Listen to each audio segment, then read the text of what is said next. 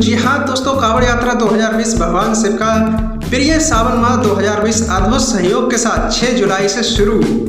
भगवान शिव का प्रिय महीना सावन ये क्यों है? इसके लिए आपको वीडियो को शुरू से एंड तक पूरा देखना होगा। आपको पूरी जानकारी इस वीडियो में हम देंगे।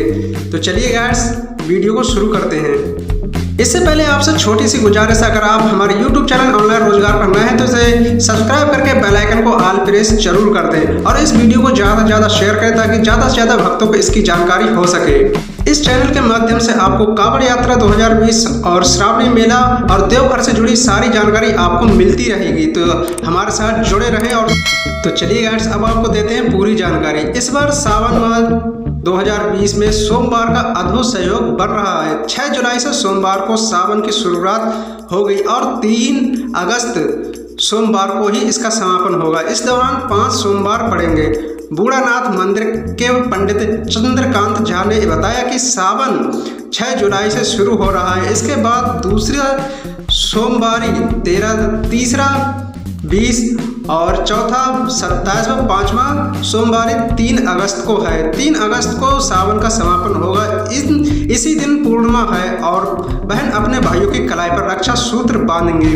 फिर यानी कि सुबह साढ़े आठ बजे से रात्रि आठ बजकर बीस मिनट तक बहन अपने भाइयों को राखी बाँध सकेंगे। उन्होंने बताया कि सावन में बारिश होने का भी सहयोग है। साथ ही गृह प्रवेश आदि भी शुभ होंगे। इसी को लेकर जगन्नाथ मंदिर के पुजारी पंडित सौरभ कुमार मिश्रा ने बताया कि इस बार सावन में पाँच सोमवारी का व्रत होगा, जिसमें तीन कृष्ण पक्ष के बाद दो शुक्ल पक्ष में होगा। उन्होंने बताया कि धार्मिक समाज मान्यताओं के अनुसार श्रावण माह में भगवान शिव की पूजा महामृत्युजन मंत्र जाप व अभिषेक आदि करने से प्रणाली की सभी प्रकार के बाधा व रोग से मुक्त हो, हो जाते हैं। इस साल कोरोना वायरस महामारी की वजह से श्रद्धालुओं की संख्या में आएगी कमी। कोरोना संक्रमण के कारण इस बार सावन में श्रद्धालुओं की संख्या में काफ़ी कमी आने की संभावना है। अजगैबी नाथ मंदिर के महंत प्रेम नंद गिरी ने की माने तो कोरोना के कारण छत्तीसगढ़, राजस्थान, महाराष्ट्र, यूपी आदि जगहों के श्रद्धालु में काफ़ी कमी आएगी। अभी देवघर मंदिर भी नहीं खुला है, इसलिए 30 जून के बाद ही इस पर कुछ कहा जा सकता है।